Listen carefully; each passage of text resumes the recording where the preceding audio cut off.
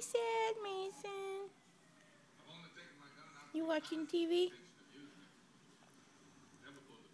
You watching TV, Gavin? Say hi to Mom. Say hi, Mom.